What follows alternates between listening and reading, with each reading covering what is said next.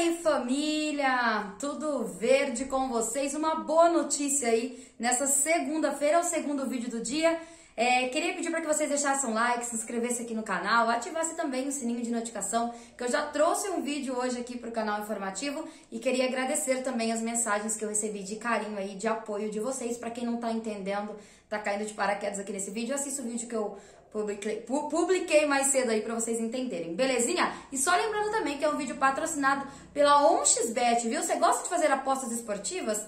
Tá esperando que? Aposte na 1xBet, gente. Tem muitos jogos de Libertadores essa semana aí, vários campeonatos rodando pelo mundo todo, inclusive amanhã tem Boca e Corinthians, hein? E tem Palmeiras também enfrentando o Emelec na quarta-feira. Corra lá que a aposta da 1xBet o, o, pagamento é super rápido e utilizando o cupom palestrino o valor do seu primeiro depósito vai dobrar. Então eu vou deixar fixado aqui no primeiro comentário. Belezinha? Vamos lá, gente, uma bomba aí nesse início, né, de segunda-feira, nessa, nessa, nesse início de noite de segunda-feira, que é o Palmeiras encaminhando a assinatura de contrato para o Hendrick, né? Até que enfim teremos um 9, meu Deus do céu. Isso é real mesmo, isso tá acontecendo. Eu tenho certeza que o torcedor do Palmeiras vai se sentir confortável e, e com, essa, com essa informação, né? Vai sentir aquele conforto. Por quê? Porque eu tenho certeza que muitos torcedores estavam com medo, inclusive, né, do Hendrick sair antes do, dele assinar com o Palmeiras. Por quê? Porque a gente sabe como funciona ali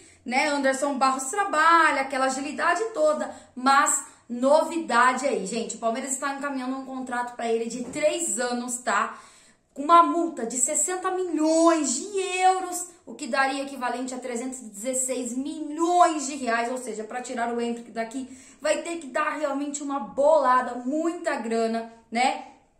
E além de tudo, ele vai poder assinar esse contrato apenas a partir do dia 21 de julho. Então vamos começar aí a contar, né? Porque tá próximo, nós já estamos em maio, né? Tem um mês e pouquinho aí para ele assinar esse contrato e ser jogador oficial do, do Palmeiras profissional, né? Subir da base para o profissional e assim poder atuar. Mas e aí, Cássia, Abel vai usar a base?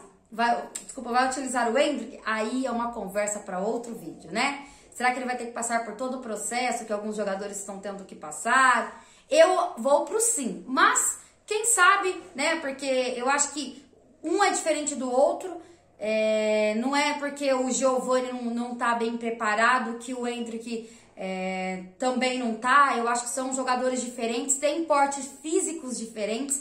Então, acho que isso vai contar muito, inclusive, para a utilização ou não do Hendrick. Mas teremos, gente, daqui um mês e pouquinho, conta aí no calendário, teremos um centroavante oficial. Bom, não é para ter um só, provavelmente é para ter mais um, né? Porque eu acredito que o Palmeiras vai buscar no mercado mais um centroavante e foi isso foi dito lá dentro, né? Que o Palmeiras vai trazer pelo menos três jogadores aí nessa janela de transferência do meio do ano. Mas por enquanto vamos comemorar aqui o Hendrick, né, que deve assinar com o Palmeiras daqui um mês e pouquinho aí e deve se tornar oficial aí jogador profissional do Verdão, né, para representar o Verdão oficialmente com os nossos jogadores. Tamo junto, deixe seu comentário, o que, que você achou dessa notícia, tenho certeza que você amou essa informação, quero saber realmente, muito obrigada mais uma vez pelas mensagens de carinho e de consideração de vocês por mim. Tamo junto, família. Vejo vocês com mais informações assim que tiver. Até mais e avante palestra.